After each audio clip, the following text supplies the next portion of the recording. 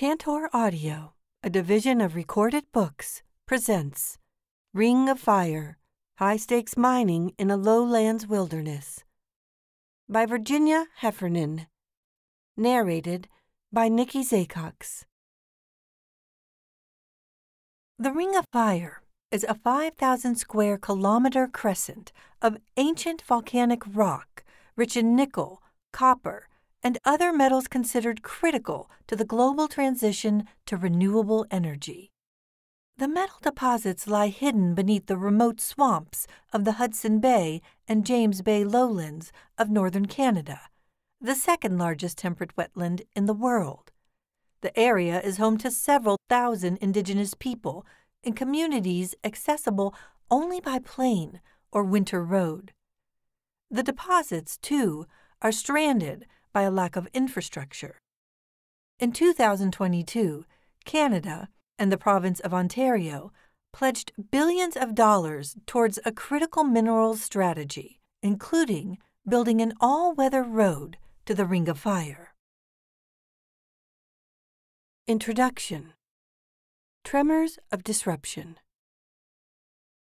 Scott Jacob scans the sea of suits he points to the only chairs remaining in the makeshift food court assembled to feed and water thousands.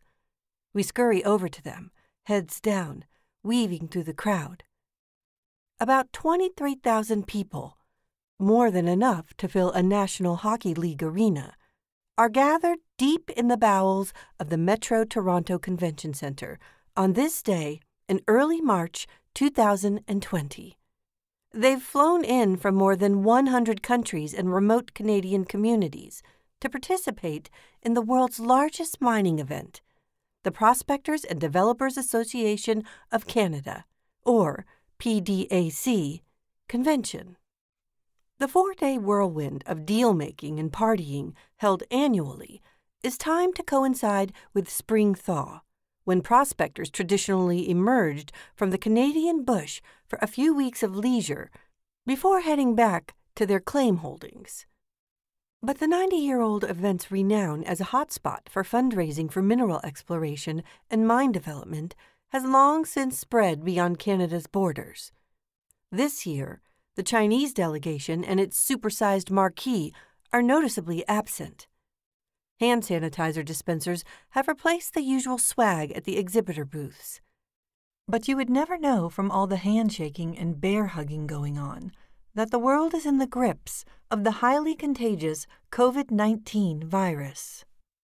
We'd soon find out what that carelessness cost. The business of reunion going on around us sounds like a massive cocktail party. Indeed, until relatively recently in the convention's history, the men would have been enjoying free beers with their lunch, not $4 bottles of water. The rare woman walking the floor would more likely identify as a convention booth bunny than a geoscientist or a financier. When I first started to attend the event as a member of the press in the 1990s, I was advised to leave my heels at home unless I wanted to be propositioned. Any Indigenous person brave enough to attend might well have been shown the door. Passions run high when fortunes reach the level of risk that mineral exploration investments inherently involve. In those days, disagreements would occasionally evolve into brawls amid the all day drinkers at the convention. Once, around the dinner hour, Two old friends and business associates from northeastern Ontario had a falling out. On March 9, 1987, Timmins Timmy Bissonnette gunned down stock promoter Guy LaMarche with a silver plated revolver on the escalator of the Royal York, the grand old hotel that had been hosting the convention since 1944. LaMarche died on the scene. Bissonnette was sentenced to life in prison. The convention's Wild West nature has since been replaced with a much more corporate vibe. Female representation in the sector has increased incrementally to 16% in Canada. But the biggest change, with the introduction and growth of Indigenous programming this century, is the acknowledgement by industry and government that Indigenous peoples have a significant role to play as partners in exploration and mining. With a few sweeps of his forearm, Jacob, former chief of the Webequie First Nation, an Ojibwe community in far northern Ontario, wipes the crumbs off the corner of the long table jammed with men wolfing down triangular sandwiches from clear plastic containers. He gestures for me to take a seat beside him on a stackable chair, still radiating heat from its last occupant. We have to shout to make ourselves heard over the din. Jacob is describing what it was like for him, as chief of the nearest community to the Ring of Fire, to be hit by a sudden surge of helicopters and prospectors descending on Webequie in the James Bay lowlands in the summer of 2007, when the first nickel discovery was made. Prospectors ply their trade not only for the adventure of exploration and discovery, but for the slim chance a public company may come along one day option their claims, and turn them into mines that pay royalties. At the time, Jacob wasn't sure whether to be pleased or angry about the rush. But our elders told us just be prepared for what is to come. Jacob says the Webequie elders recalled what had happened to another Ojibwe First Nation, Mishkeegogamang, to this day the most northerly indigenous community in the province to have all weather road access. When Ontario decided to build the road, Highway 599, north from Thunder Bay to service gold deposits in the area in the 1950s, the province relocated the Mishkeegogamang Reserve closer to the highway. Community members had no say in either the road building or the relocation. Coinciding with the new system of social assistance from Ottawa, the move drastically changed their way of life, and most had to abandon hunting, fishing, and trapping. The people were not used to living together year round in a large group, and there was too little full time employment, according to Mishkeegogamang's website. Traditional structures had broken down, and new organizations had not yet taken their place effectively. A similar tragedy continues to play out decades later in many of the indigenous communities under Treaty 9, also known as the James Bay Treaty, covering present day Ontario north of the land separating the Great Lakes watershed from the Hudson and James Bay drainage basins. Signed in 1905 to 1906, after Confederation, the purpose of the treaty was to buy land and resources from Cree and Ojibwe peoples to allow for white settlement and resource development. In exchange, the indigenous residents were to receive cash payments, reserves to live on, education for their children, and hunting, fishing, and trapping rights. But the treaty turned out to be a lopsided deal, deeply favoring the settlers. As part of the settlement effort, Ontario passed the Mines Act of 1906, allowing prospectors to move freely through the wilderness, armed with picks and shovels. Even today, anyone over the age of 18 can obtain a prospector's license, granting entry to Crown land. About 87% of Ontario's landmass is considered by the federal and provincial governments to belong to the Crown. Until recently, if a prospector found valuable minerals, or even had a hunch they might exist, they could simply cut four lines through the bush, hammer in wooden claim posts at the four corners of the square, register the claim with the province, and take ownership of whatever valuable minerals lay within. They had an obligation to work the claim so it wouldn't lie fallow, mapping, rock sampling, and so forth but otherwise were free to prospect. In 2012, the province revised what is now called the Ontario Mining Act to require Indigenous consultation before exploration takes place. And in 2018, the province moved to an online map staking system. But the spirit of the law remains the same. Treaty 9 overlaps with what is known as Ontario's Far North an area twice the size of the United Kingdom, stretching from the Manitoba border in the west to James Bay in the east. The far north contains the world's second largest temperate wetland and largest boreal forest untouched by development. It is home to roughly 24,000 people, 90% First Nations, in 31 communities. The Cree call it the breathing lands, the lungs of Canada. The area is so remote that some of its rivers remain unmapped.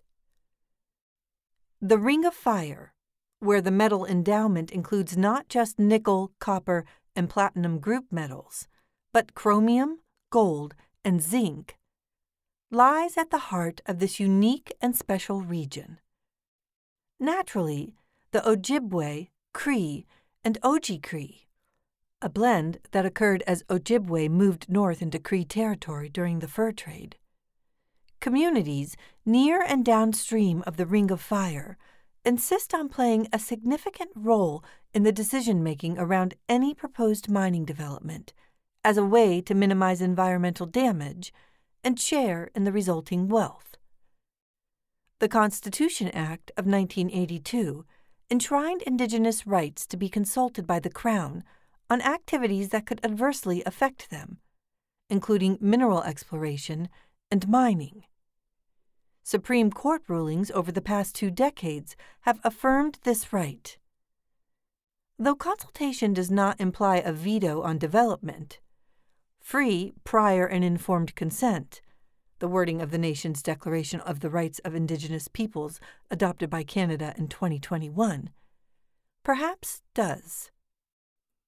We're at a watershed moment in Canadian and global history when Indigenous peoples are taking some control over resource development on their traditional lands. As an exploration geoscientist turned mining journalist, I was naturally drawn to the fevered excitement of the 2007 Ring of Fire mineral discovery and its potential to become a major international source of several important metals. But my initial perspective was too narrow. As years passed and Indigenous communities across Canada exercised their constitutional right to be consulted on resource development, the fate of the remote region became increasingly uncertain, and the implications of the ongoing discoveries more intriguing. The mineral rich area encapsulates all the challenges of resource development in Canada the potential for environmental damage, a lack of infrastructure that leaves resources stranded, and a regulatory and indigenous consultation process that can be opaque.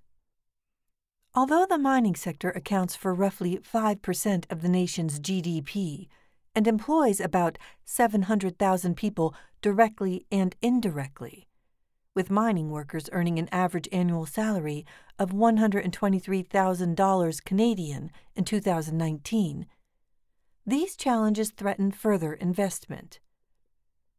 By 2012, the Ring of Fire was shaping up to be an epic three way battle among a mining industry unaccustomed to having its ownership of mineral discoveries questioned, a provincial government that considered Indigenous relations to be a federal matter, and members of First Nation communities who took their right to consultation seriously along with their duty to protect the land for future generations. More than a decade later, recognition that the region's nickel, copper, and other metals could play a significant role in the world's transition to renewable energy added an extra layer of complexity. Did the contentious Ring of Fire stand a chance of ever being developed? If not, the opportunity cost would be high. By virtue of its size, relative infancy in the exploration mining sequence, and critical mineral endowment, the Ring of Fire represents an unprecedented chance to build a global model of resource management in which benefits to country and community far outweigh social and environmental costs. To allow the Ring of Fire to smolder amid ongoing conflict would be irresponsible to all stakeholders. Indigenous partnership will be the catalyst for development, The mineral exploration and mining sector is already the largest private sector employer of Indigenous people and an important client for Indigenous owned businesses in Canada. The Ring of Fire itself is one of the most significant metal discoveries of the 21st century and has the potential to become a long lasting mining camp. Electric vehicle manufacturers and other green revolution capitalists are eager to get their hands on the area's critical metals and minerals. But a measured, collaborative approach to mining development in this fragile area that is more in line with indigenous sensibilities is the only way to avoid perpetuating the inequities of the past. By our meeting at PDAC 2020, Jacob had become the manager of community relations for Noront Resources, the main industry player in the Ring of Fire. He tells me he would move back to his fly-in community of Webequie from his current home in Thunder Bay if there were any housing available. He still has older family members there, and some of them are fragile. Most suffered from abuse at the residential school they were forced to attend. They struggle with their mental and or physical health as a result. One uncle simply disappeared, never to return from boarding. As we chat about personal tragedy amid the money-making melee, a who's who of indigenous leaders either stops to talk or waves from a distance.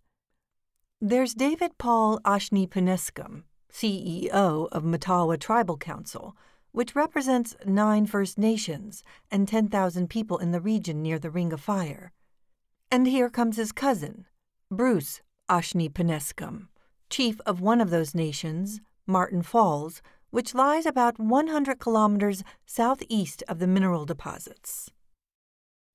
Taking a seat across from us and sporting a leather cowboy hat is Jerry Asp, former chief of the powerful Tahltan Nation in BC, founder of the largest Indigenous owned heavy construction company in Western Canada, and member of the Mining Hall of Fame. He devours a styrofoam bowl of noodle soup as he reminisces about flying plane loads of Kentucky Fried Chicken into Webequie when he was advising the band council there on how to proceed with the Ring of Fire. Jacob erupts in laughter at the memory. Next, fellow Hall of Famer Mackenzie Mac Watson sidles over to greet us. Watson is a geologist whose junior company, Free West Resources, discovered the chromite that put the Ring of Fire on the world stage. He gives Jacob a ribbing about the dormant status of the development a decade after he sold Free West to an American mining company for $240 million Canadian in cash.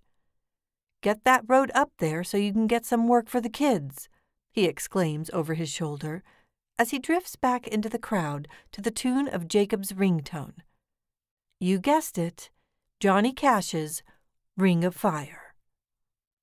Watson must be reading Jacob's mind because as we speak, Ontario Premier Doug Ford and Greg Rickford, his Minister of Energy, Northern Development and Mines, and Minister of Indigenous Affairs, are making their way to the Ontario Pavilion.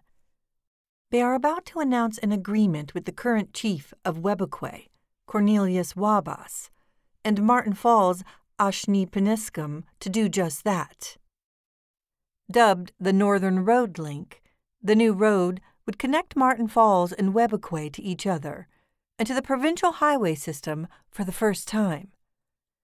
Jacob is pumped about the announcement, saying it represents the most progress made for Indigenous communities in Northern Ontario in years. But the road has yet to be embraced by some of the other seven nations in the Matawa Tribal Council. Some are downright opposed to it. Following the press conference, the media spotlight swivels to Chief Chris Moonias of Neskantaga First Nation, a tiny community 130 kilometers upriver of the proposed mining camp. He is concerned about how the road and other developments will affect the Attawapiskat River watershed that begins at his community and runs through the Ring of Fire on its way to James Bay. You can expect opposition if Ontario, or any road proponent, tries to put a shovel in the ground of our territory without our consent, he tells CKDR News. Later in the day, the cracks in the tribal council become even more apparent when only five of the nine chiefs attend a panel discussion on development of Ontario's far north. Those who do participate say their priorities lie with housing and clean drinking water before development. There is opportunity in the air, but I think before we talk about billion dollar projects in our region, we would like to have some of our infrastructure dealt with.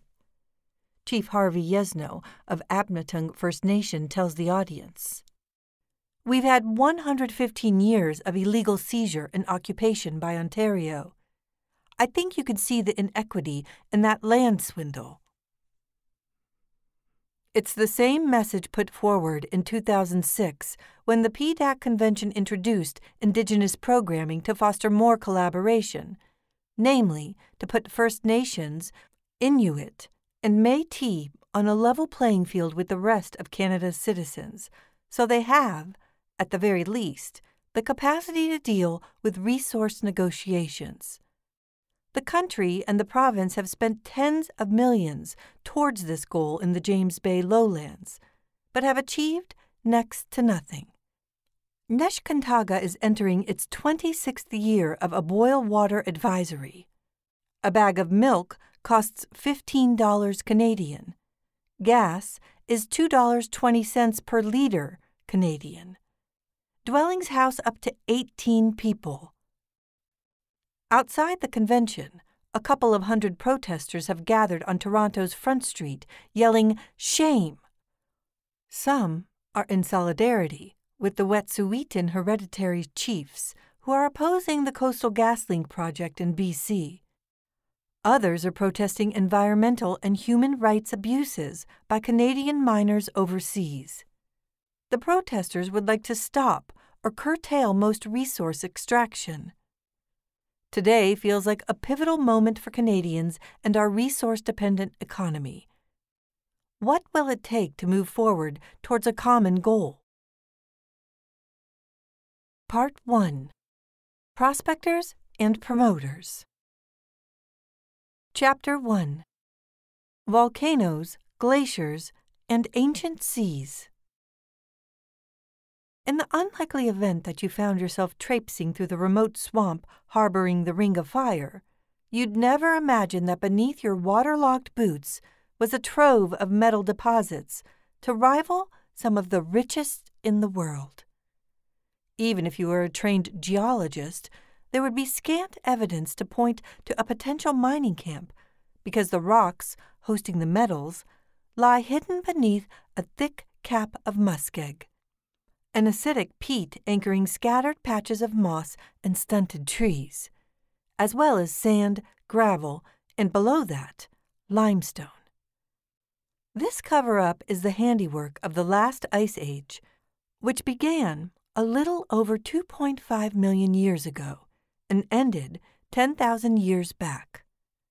During this period, ice sheets up to three kilometers thick blanketed almost all of Canada and most of the northern U.S., Europe, and Asia. The sheet centered on Hudson Bay and covering modern day Ontario and Quebec was called Laurentide. Laurentide was dynamic expanding and contracting like a beating heart in response to brief warming and cooling periods. All that forceful movement over hundreds of thousands of years scraped and pulverized the rock below, redepositing it as sand and gravel, known as glacial till. At the same time, the weight of the ice pressed the land down like a human would a mattress. But by about 8,000 years ago, the climate was warming quickly and irrevocably. Laurentide was on its last legs, already split in two and dripping water relentlessly from its edges and underbelly. The waters in the Hudson and James Bay expanded in response.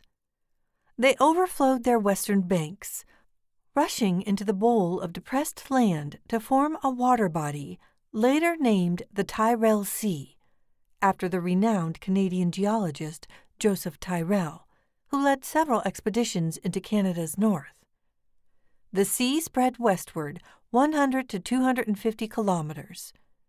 It is estimated to have been about 280 meters deep, nearly as deep as the Eiffel Tower is tall. Then, not nearly as dramatically, the sea contracted as the last of the heavy ice sheet disappeared. Released from its burden, the land was free to rebound. Still sodden, underlain by permafrost, and poorly drained, the area that had been submerged for so long was now rising and ripe for the formation of muskeg. The top and most recent layer blanketing the ring of fire deposits of chromium, copper, gold, nickel, zinc, and other metals. The slow but dynamic rebound continues to this day, adding approximately two kilometers of shoreline per century. Beneath this spongy swamp that makes infrastructure logistics challenging lies a thick layer, up to 300 meters in some areas, of limestone formed long before the last ice age on the floors of seas warm enough to swim in as they washed over the area repeatedly 350 to 450 million years ago. The beds of sedimentary rock accumulated as calcium carbonate crystallized in the warm water and carcasses of sea urchins and coral decomposed. Today, the gravel bars lining the rivers of the James Bay watershed are littered with evidence of these ancient sea creatures preserved in limestone pebbles, a budding paleontologist's paradise. You'd have to dig a little deeper to find the rocks hosting the Ring of Fire mineral deposits. They are among the oldest and most stable in the world, dating back to when Earth was still a turbulent teenager nearly three billion years ago. The cracks that formed within them as the planet later groaned and shifted are the ideal conduits for hot magma rising up from Earth's mantle. But these so called basement rocks rarely poke their heads above the thick cover of sand, gravel, and limestone in the James Bay lowlands. In the swamp, there's only one way to see this ancient metal rich geology and its peculiarities without embarking on the expensive business of drilling by employing geophysics to see through the cover layers. As far back as the 1960s, the Geological Survey of Canada was flying airborne surveys over the lowlands to detect magnetic variations in the rocks and constructing maps to interpret the hidden geology. But it wasn't until De Beers, the global diamond monopoly, found diamonds in the lowlands in the 1980s that geoscientists began to view these preliminary maps, and the ones that would follow, with an eye to mineral wealth. Some in the academic world were indignant when the late Richard Nemis, the promoter responsible for kickstarting the mineral rush to the area, named his discovery the Ring of Fire after a song by Johnny Cash, his favorite performer. The Ring of Fire is formal nomenclature for a seismically active belt that encircles the Pacific Ocean. It seemed grandiose to give this swampy morass in northern Ontario the same name as such a globally significant geological feature. But Nemis was onto something bigger than fan love. Geologists now speculate that the only way Nemis's ring could contain so much mantle derived or ultramafic magma and metal was if some cataclysmic geological event, such as two continents colliding or separating, had cracked open the basement rocks. Imagine a ship washing up on a shoal, floorboards splintering. When the ship returns to sea, the water rushes in. The same physics are at play when continents collide, one sliding over the other and shattering the surrounding rock with the force of the collision. When the landmass retreats, rifts open up, allowing magma to flow rapidly to surface. The modern day analogues are violent rumblings and eruptions along the official Ring of Fire in places such as Washington State, Japan, and the Philippines. Now, cast your mind back 2.7 billion years. The crust is splitting apart just west of the current imprint of Hudson Bay. The crust is thinner and the core hotter than now, creating a lot of melted mantle with nowhere to go. So as soon as a rift opens up, the restless magma lets loose and ascends. When the magma reaches a point of neutral buoyancy, the point where its density equals that of the surrounding rocks, it begins to spread horizontally along planes of weakness, such as the contacts between different rock types or faults in the bedrock. Then imagine this eruption reoccurring in several violent pulses over a relatively short geological span of a few million years. On its way to surface, the intense heat of these magmas partially melts the surrounding rocks, introducing sulfur into the mix.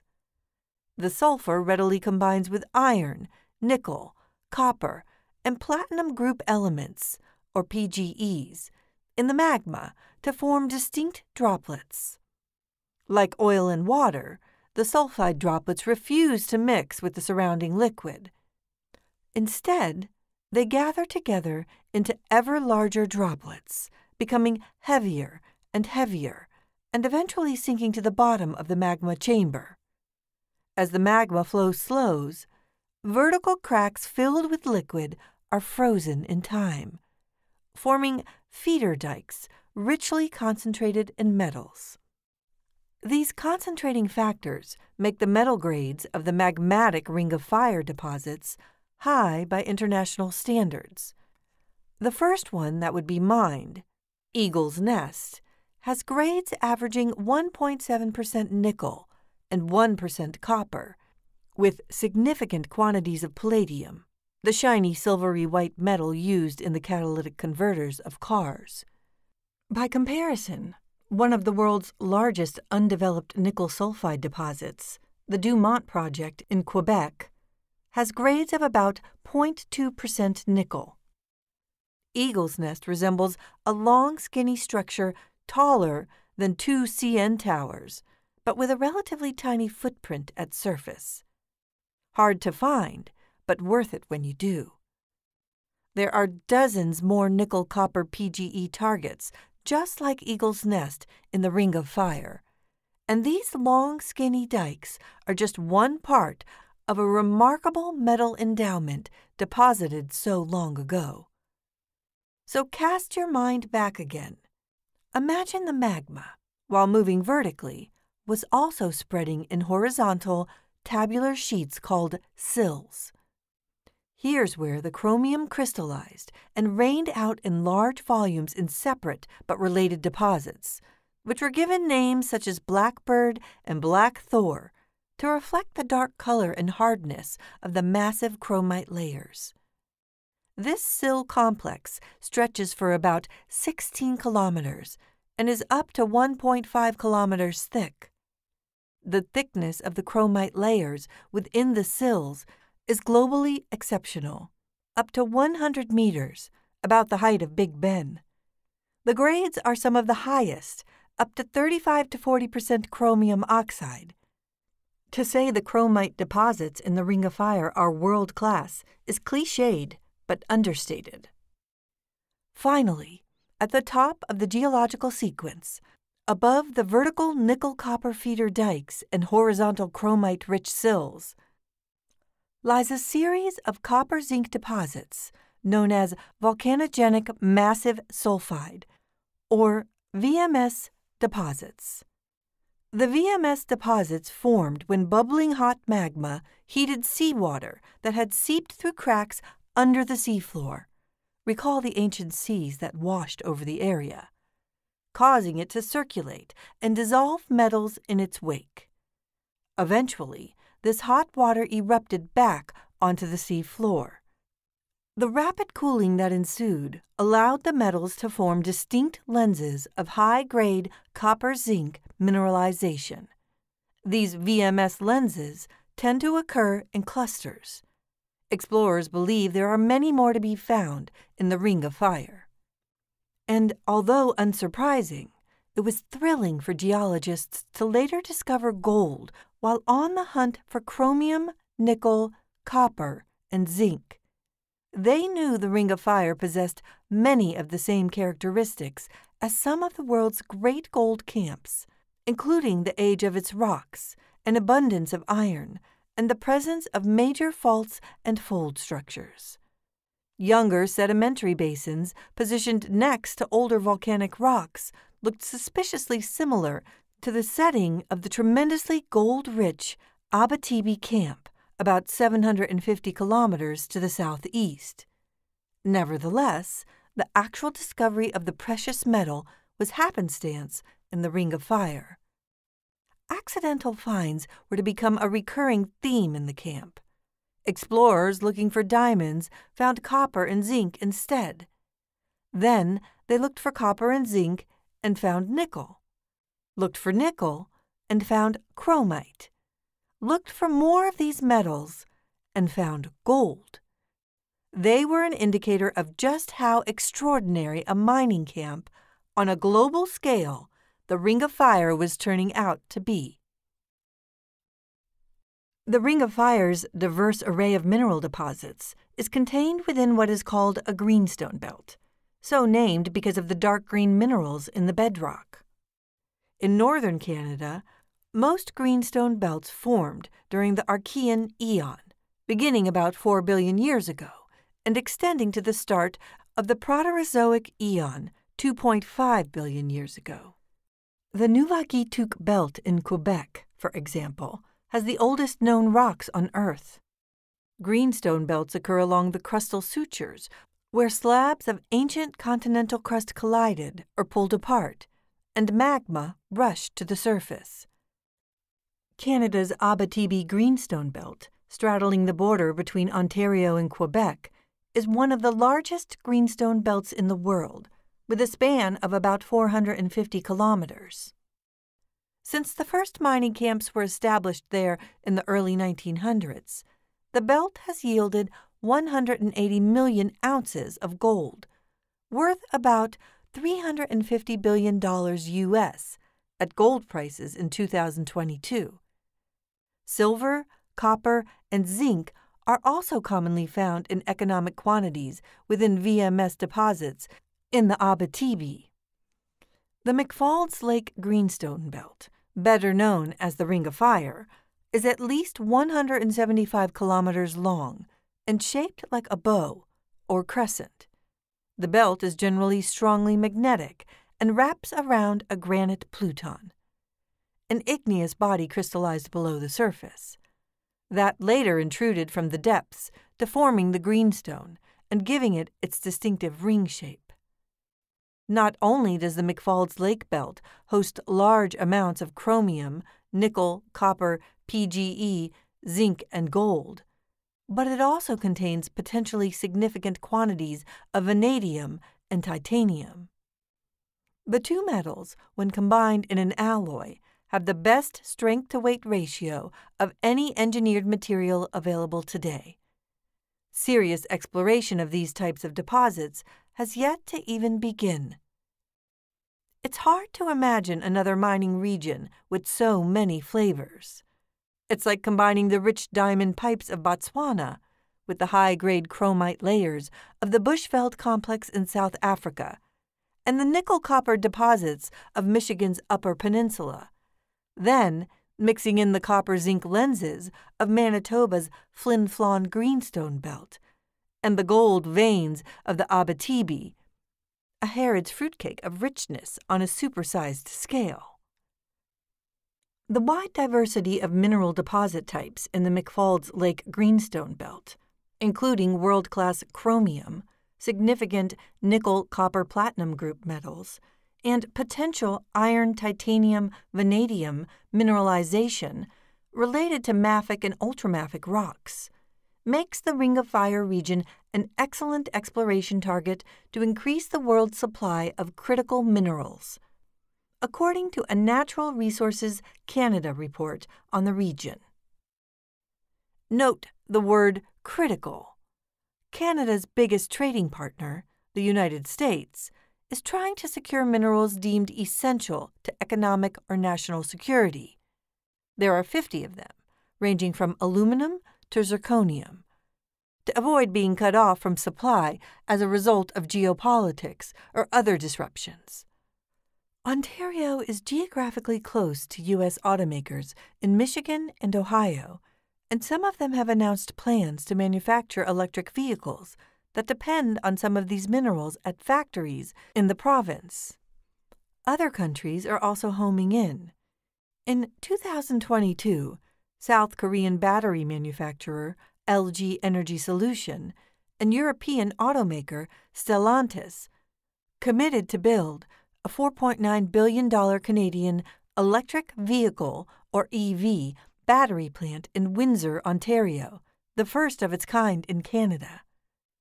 Nickel, the dominant metal in the Eagle's Nest deposit and other deposits being evaluated in the Ring of Fire, increases the energy density of EV batteries so cars can run farther on a single charge. The International Energy Agency calculates electric cars require six times the mineral content of one running on an internal combustion engine.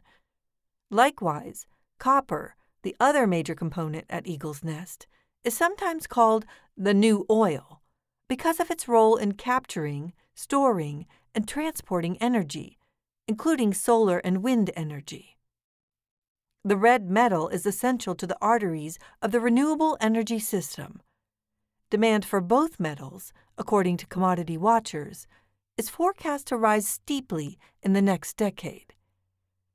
And based on resource estimates and metallurgical studies, the Ring of Fire chromite deposits contain enough chromium to fulfill demand from North American stainless steel producers for 58 years and would potentially add $2 billion Canadian to Canada's economy each year.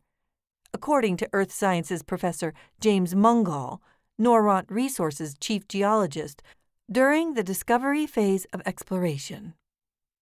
There is also a bounty of what explorers call blue sky exploration potential. The Ring of Fire lies within a much larger complex of rocks called the Oxford Stull Domain.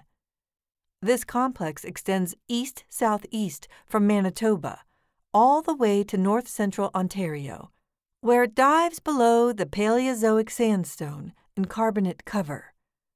Oxford Stull contains other greenstone belts that wrap around granite domes just like the Ring of Fire. Could there be more valuable mineral deposits lurking undercover somewhere else in this vast region? Chapter 2 A Discovery in the Making On one of those late September days that bask Toronto in a soft golden light, I cycled downtown to interview Neil Novak, the exploration geologist who first put the James Bay lowlands on the proverbial map.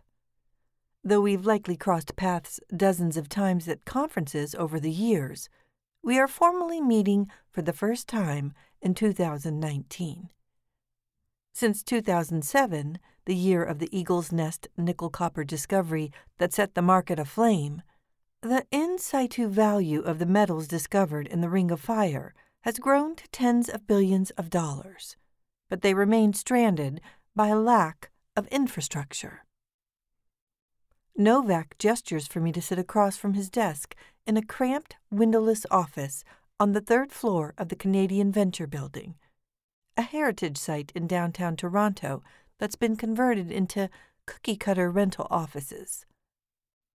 We're just getting into the guts of the Ring of Fire discovery tale when he reaches behind him and hands me an eight inch long cylinder of rock, split down the middle and polished to reveal the treasures within. The smooth, shiny, black drill core is a minuscule section of a much longer length pulled from under the swamps of far northern Ontario. The rock formed about 2.7 billion years ago, making it among the oldest on the planet. My geoscientist eye has atrophied from lack of practice, but even I notice blotches of sulfide minerals mottling the background, a sign that the metal content, especially nickel, would be high. As previously mentioned, valuable mineralization of the kind resting in my hand forms when metals rain out of cooling magma that has ferried them to surface from the Earth's mantle. The metals have an affinity for sulfur, so the two often end up together in high concentrations in the surrounding rock. Novak points to the core sample. It's from drill hole NOT. We hope you enjoyed this preview. To continue listening to this audiobook on Google Play Books, use the link in the video description.